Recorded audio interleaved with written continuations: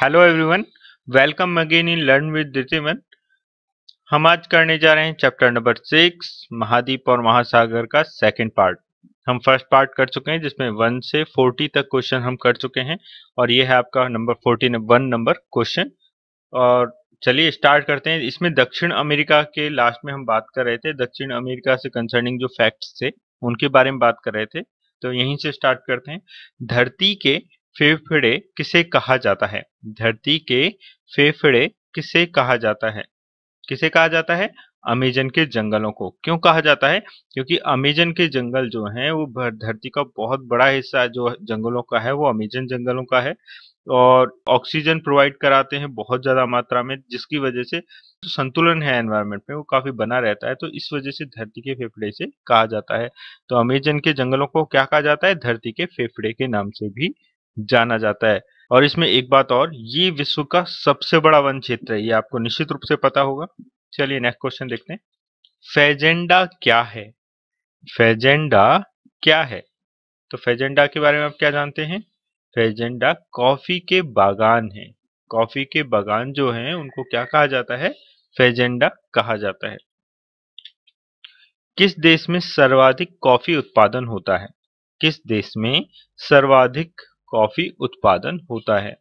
तो देखिए, सर्वाधिक उत्पादन होता है ब्राज़ील के अंदर और वहाँ पे कॉफ़ी के जो बागान हैं, उनको क्या कहते हैं? उन बागानों को कहते हैं फेजेंडा। और इसी वजह से यहाँ पर दक्षिण अमेरिका से संबंधित ये कॉफ़ी उत्पादन है, क्योंकि वहाँ विश्व का सर्वाधिक कॉफ़ी उत्पादन होता है, कहाँ होता है? ब्राज़ील देश के अंदर होता है, जो कि दक्षिण अमेरिका महाद्वीप में स्थित है। Next question. दक्षिण ध्रुव के चारों ओर स्थित महाद्वीप का क्या नाम है? दक्षिण ध्रुव के चारों ओर स्थित महाद्वीप का क्या नाम है? तो आप सभी जानते हैं क्या नाम है उसका? अंटार्कटिका। और अंटार्कटिका एक ऐसा महाद्वीप है जो विश्व का सबसे ठंडे महाद्वीपों में से एक है।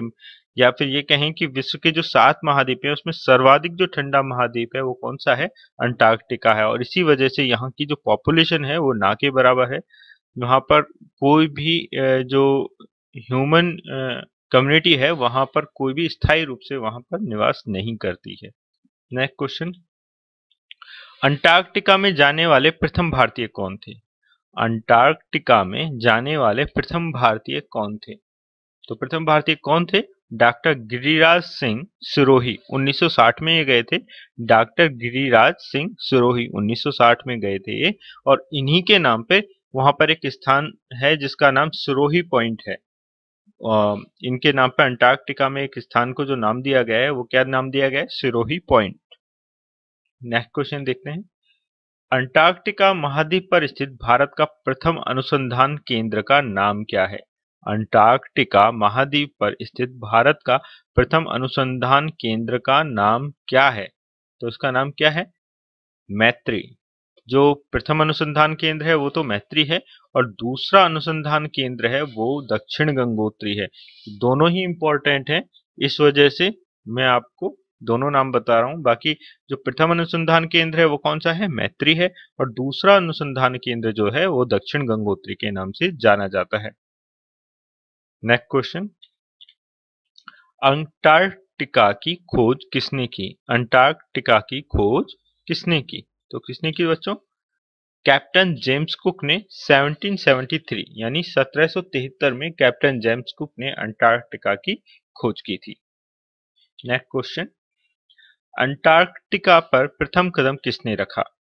अंटार्कटिका पर प्रथम कदम किसने रखा? तो किसने रखा? जॉन डेविस ने रखा था 1821 में। जॉन डेविस 1821 में अंटार्कटिका पर पहली बार गए थे। नेक्स्ट क्वेश्चन कैनियन किसे कहा जाता है? देखिए, ग्रांड कैनियन के बारे में आपने अभी पढ़ा था कुछ टाइम पहले। तो ग्रांड कैनियन, जब कैनियन की बात आती है तो आपको ये पता होना चाहिए कि कैनियन एक्चुअल में है क्या। तो कैनियन किसे कहा जाता है? नदी द्वारा शुष्क क्षेत्रों में निर्मित तेज ढाल वाली घाटियाँ। जो नदी, जो तेज़ी से बहती है तो शुष्क क्षेत्रों में क्या करती है? वो एक तेज ढाल वाली घाटी का निर्माण कर देती है, जहाँ से वो बहती है। तो उसको हम क्या कहते हैं? कैनियन कहते हैं। ठीक है? चलिए नेक्स्ट क्वेश्चन देखते हैं। क्षेत्रफल की दृष्टि से विश्व का दूसरा सबसे छोटा और जनसंख्या की दृष्टि से विश्व का तीसरा सबसे बड़ा महाद्वीप कौन सा है? देखिए, अच्छे से इस क्वेश्चन को समझिए। क्षेत्रफल की दृष्टि से विश्व का दूसरा सबसे छोटा और जनसंख्या की दृष्टि से विश्व का तीसरा सबसे बड़ा महाद्वीप कौन सा है? कौन सा है? वो है यूरोप। बिल्कुल, जो सबसे छोटा है, वो है ऑस्ट्रेलिया, और उससे जो बड़ा है, यानी दूसरा सबसे छोटा जो है, वो कौन सा है? यूरोप है, और जनसंख्या की दृष्टि से यूरोप का तीसरा नंबर आता है। तो इस बात का आप निश्चित रूप से याद रखेंगे। नेक्स्ट क्वेश्चन देखते हैं। यूरोप के उत्तर व पश्चिम में कौन से महासागर हैं? यूरोप के उत्तर व पश्चिम में कौन से महासागर हैं? तो इसका आंसर देखिए, उत्तर में आपके यूरोप के जो है, आर्कटिक महासागर है और पश्चिम में कौन सा है? अटलांटिक महासागर है।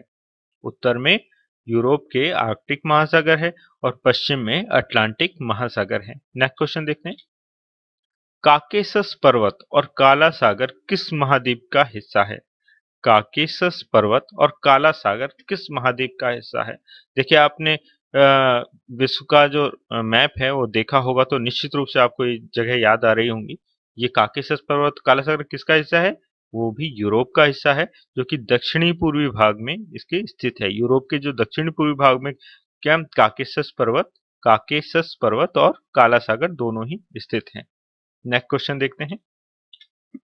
यूरोप की सबसे लंबी नदी कौन सी है? यूरोप की सबसे लंबी नदी कौन सी है? तो देखिए, यूरोप की जो सबसे लंबी नदी है, वो है वोल्गा जो कैस्पियन सागर में गिरती है है ना? यूरोप की जो सबसे लंबी नदी वोल्गा जो है, वो किसमें गिरती है? कैस्पियन सागर में गिरती है। नेक्स्ट क्वेश्चन देखिए। विश्व का सबसे छोटा देश कौन सा है? विश्व का सबसे छोटा देश कौन सा है? यह हम सभी जानते हैं, इसका सबसे छोटा देश है वेटिकन सिटी जो बहुत ज़्यादा छोटा है और इसकी अपनी कोई सेना भी नहीं है। तो विश्व का सबसे छोटा देश कौन सा है? Vatican city next question Scandinavia. उच्च भूमि, व आर्कटिक महासागर के विस्तृत टूंड्रा प्रदेश किस महाद्वीप पर स्थित है? देखिए, टूंड्रा प्रदेश के बारे में आपने बहुत बार पढ़ा होगा तो आपको पता होगा, स्कैंडिनेविया उच्च भूमि, व आर्कटिक महासागर के विस्तृत टूंड्रा प्रदेश किस महाद्वीप पर स्थित है? तो पता है आपको? क्या है? यूरोप, बिल्कुल। और यूरोप में एक बात और है टूंड्रा प्रदेश वगैरह जो ये जगह हैं, इनकी वजह से यहाँ पर जो सिट्रस फ़ूड है, यानी खट्टे फल जो होते हैं, जैसे कि अंगूर हुए, नींबू हुए, इनका जो कृषि है, इनकी इनकी जो फ़सल है, बहुत ज़्यादा होती है, इनकी पैदावार बहुत ज़्यादा होती है। अंगूर हुए, नींबू हुए, इस टाइप के जो सिट्रस फ्रूट हैं, खट्टे फल हैं, उनकी यहाँ पैदावार बहुत ज़्यादा मात्रा में होती है। Next question Australia New Zealand Tasmania और निकटवर्ती द्वीप समूह को सम्मिलित रूप से क्या कहा जाता है? देखिए, ये क्वेश्चन पहले भी एक बार आ चुका है। इस चीज़ को आप ध्यान रखिएगा। ऑस्ट्रेलिया, न्यूजीलैंड, तस्मानिया और निकटवर्ती द्वीप समूहों को सम्मिलित रूप से क्या कहा जाता है? यानी, इन सारे जो द्वीप समूह हैं, ऑस्ट्रेलिया है, इन सबको इकट्ठा कर दिया जाए तो इनको क्या कहा जाएगा? तो इनको कहा जाता है आरेशिया। ये जो ऑस्ट्रेलिया के आसपास जितने भी छोटे छोटे देश हैं या द्वीप समूह हैं उन सबको मिलाकर क्या कहा जाता है कि ये आरेशिया का क्षेत्र है या आरेशिया है, ठीक है? नेक्स्ट क्वेश्चन विश्व का सबसे छोटा महाद्वीप कौन सा है? विश्व का सबसे छोटा महाद्वीप कौन सा है? ये निश्चित रूप से मुझे पूरा विश्वास है कि सबको पता है कि उस सबसे छोटा महाद्वीप कौन सा है? ऑस्ट्रेलिया है। सबसे छोटा महाद्वीप ऑस्ट्रेलिया है। नेक्स्ट क्वेश्चन ऑस्ट्रेलिया का सबसे लंबा पर्वत का क्या नाम है? ऑस्ट्रेलिया का सबसे लंबे पर्वत का क्या नाम है? इसका सबसे जो लंबा पर्वत है, उसका नाम है ग्रेट डिवाइडिंग रेंज क्या नाम है? ग्रेट डिवाइडिंग रेंज जो है, ऑस्ट्रेलिया का सबसे लंबा पर्वत है। चलिए नेक्स्ट क्वेश्चन देखते हैं। Question number fifty nine Great Barrier Reef क्या है? ग्रेट बैरियर रीफ क्या है? तो देखिए, ये बहुत इंपॉर्टेंट क्वेश्चन है और ये कई बार आ भी चुका है। विश्व सबसे लंबी मूँगा निर्मित दीवार। देखिए, मूँगा जो होता है, वो एक प्रकार का समुद्री जीव होता है और मूँगा बहुत सारे हमारे यहाँ पे जो एस्ट्रोलॉजी होती है, उसके अंदर हम मूँगे की अंगूठी भी पहनते हैं तो वो ही मूँगा है। तो उस मूँगा वो इतनी बड़ी मात्रा में निर्मित हो गया है, इतनी बड़ी मात्रा में वो डेवलप हो गया है कि उसने एक बहुत बड़ा एक दीवार खड़ी कर दी है। है ना? और ऑस्ट्रेलिया के जो पूर्वी तट जो है प्रशांत महासागर में, वहाँ पर एक बहुत बड़ा क्षेत्र जो है, वो मूंगई से दीवार बन गई है। एक बहुत बड़ा क्षेत्र का निर्माण हो गया है तो उसको हम क्या कहते हैं? ग्रेट बैरियर रीफ कहते हैं। उसको क्या कहा जाता है? विश्व की सबसे लंबी मूँगा निर्मित दीवार जो है, वो ग्रेट बैरियर रीफ कहलाती है और ये ऑस्ट्रेलिया के पूर्वी तट पर है प्रशांत महासागर में। ठीक है? नेक्स्ट क्वेश्चन देखिए। मैरिनो क्या है? मैरिनो क्या है? इसके बारे में आपने बहुत सुना होगा। ये क्या है? भेड़ की एक नस्ल है। ये क्या है? भेड़ की एक नस्ल है मैरिनो और ये ऑस्ट्रेलिया और न्यूजीलैंड में पाली जाती है। और जब ऑस्ट्रेलिया और न्यूजीलैंड में पाली जाने वाली जातियों की बात आती है तो ये आपको पता है कि यहाँ के कंगारू भी बड़े फ़ेमस हैं है ना? ऑस्ट्रेलिया में कंगारू बहुत फ़ेमस है और मैरिनो की जो भेड़ है वो भी यहाँ की बहुत फ़ेमस है। ये यहाँ पर बहुतायत मात्रा में पाली जाती है। नेक्स्ट क्वेश्चन देखते हैं। विश्व का तीसरा बड़ा गर्म मरुस्थल कहाँ स्थित है? विश्व का तीसरा बड़ा गर्म मरुस्थल कहाँ स्थित है? तीसरा सबसे बड़ा जो गर्म मरुस्थल है, वो कहाँ पर स्थित है? वो सहा, वो सॉरी ऑस्ट्रेलिया में स्थित है। जिसका नाम क्या है? Great Victoria. जिसका नाम क्या है? ग्रेट विक्टोरिया जो है विश्व का तीसरा गरा, बड़ा गर्म मरुस्थल है। और इन सबसे बड़ा कौन सा है? सहारा मरुस्थल। सेकेंड नंबर पे कौन सा आता है? अरब का मरुस्थल। और तीसरे नंबर पे ग्रेट विक्टोरिया। चलिए नेक्स्ट क्वेश्चन देखते हैं। काल गुरली व कुलगार्डी क्या है? काल गुरली व कुलगार्डी क्या है? ये सोने की प्रसिद्ध खाने हैं। तो डेफिनेटली इसको तो आप बिल्कुल नहीं बोलेंगे काल गुरली और गुलकार कुलगार्डी ये क्या है? सोने की प्रसिद्ध खाने हैं जो ऑस्ट्रेलिया के अंदर स्थित हैं। नेक्स्ट क्वेश्चन देखते हैं। ऑस्ट्रेलिया की दो प्रमुख नदियाँ कौन सी हैं? ऑस्ट्रेलिया की दो प्रमुख नदियाँ कौन सी हैं? ऑस्ट्रेलिया के अंदर जितने भी जो नेचुरल रिसोर्सेज हैं वो बड़े मतलब उनके जो नाम रखे गए हैं बहुत आ, अच्छे रखे गए हैं तो काफ़ी आसानी से याद हो जाते हैं। तो ऑस्ट्रेलिया की जो प्रमुख नदियाँ उनका भी नाम भी बहुत अच्छा है। एक है मर्रे और दूसरी है डार्लिंग। मरे डार्टिंग ऐसे याद करते हैं इसको, है? डार्लिंग मरे। चलिए, मर्रे व डार्लिंग, यहाँ की दो प्रमुख नदियाँ हैं। नेक्स्ट क्वेश्चन देखते हैं। विश्व का सबसे बड़ा महासागर कौन सा है? देखिए, महाद्वीपों की जो मेन फैक्ट्स थे, वो मैंने आपको बता दिए अब यहाँ से शुरू होते हैं हम महासागरों पर। तो विश्व का सबसे बड़ा महासागर कौन सा है? वो है प्रशांत महासागर। और प्रशांत महासागर पृथ्वी का लगभग एक तिहाई हिस्सा जो कवर करता है, वो प्रशांत महासागर के द्वारा कवर होता है।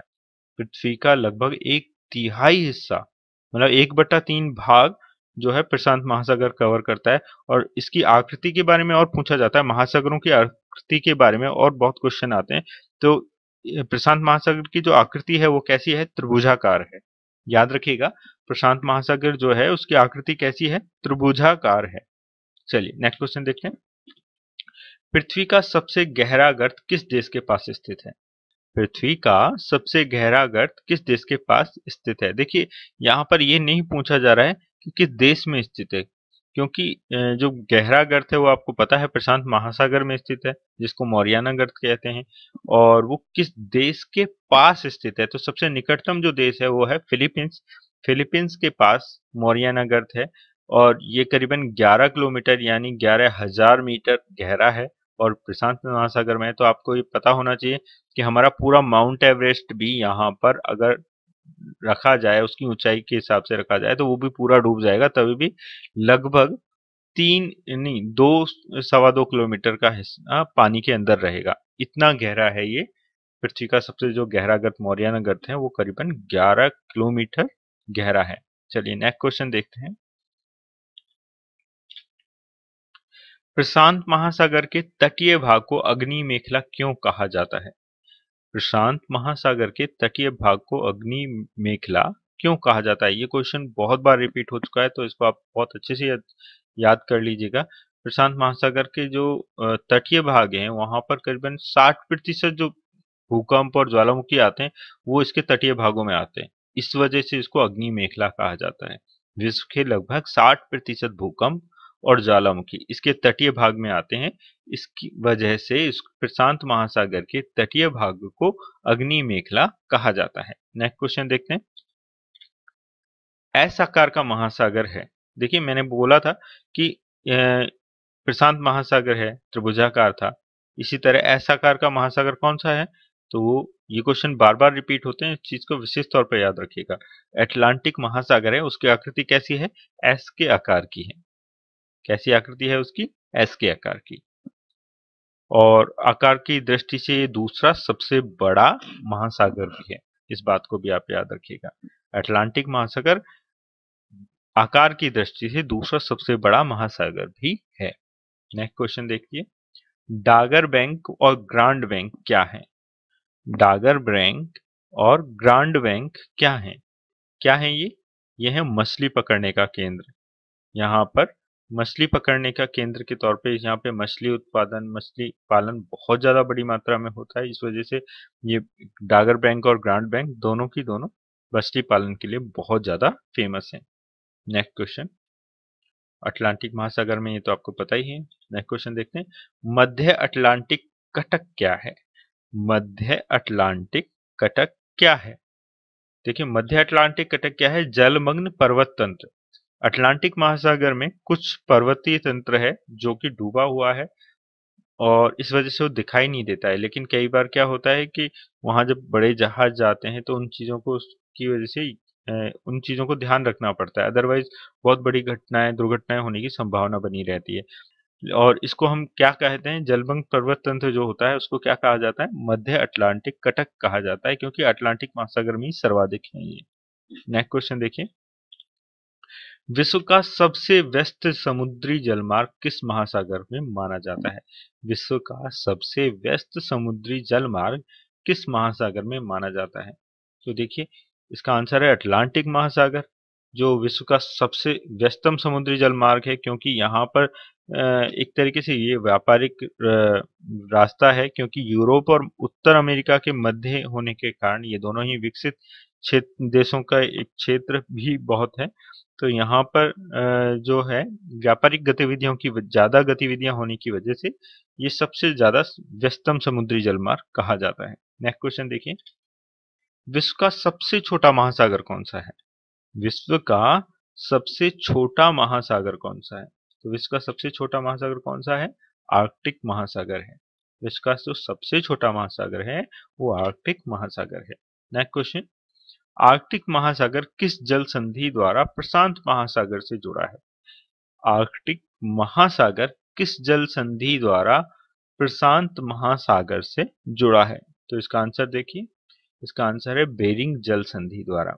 जो आर्कटिक महासागर है और प्रशांत महासागर है, वो कौन सी जल संधि के द्वारा आपस में जुड़े हुए हैं? बेरिंग जल संधि के द्वारा जुड़े हुए हैं। चलिए नेक्स्ट क्वेश्चन देखिए।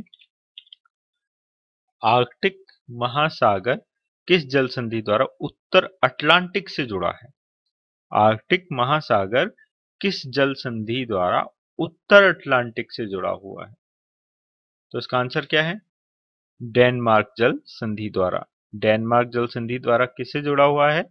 उत्तर अटलांटिक से आर्कटिक महासागर जुड़ा हुआ है। नेक्स्ट क्वेश्चन देखिए। अंडमान निकोबार, लक्षद्वीप, मॉरिशस, मेडागास्कर श्रीलंका किस महासागर में स्थित है? ये तो निश्चित रूप से हम सभी जानते हैं कि अंडमान निकोबार, लक्षद्वीप, मॉरिशस, मेडागास्कर, श्रीलंका किस महासागर में स्थित है? हिंद महासागर में। निश्चित रूप से हिंद महासागर में स्थित है। और अरब सागर है, बंगाल की खाड़ी है, ये भी कहाँ आता है? हिंद महासागर का ही हिस्सा है। इसका अंतिम क्वेश्चन देखिए, किस महासागर का नाम किस देश के नाम से है? किस, महासागर का नाम किसी देश के नाम से है। तो हम सभी जानते हैं कि एक ही महासागर है और वो क्या है? हिंद महासागर जो हिंदुस्तान के नाम पे है, हमारे देश के नाम पे है। तो ये हमारे लिए गर्व की बात है निश्चित रूप से और इसी गर्व के साथ इस चैप्टर को समापन की ओर ले जाते हैं। ये आपका लास्ट क्वेश्चन था। तो मिलते हैं नेक्स्ट वीडियो में। तब तक के लिए थैंक यू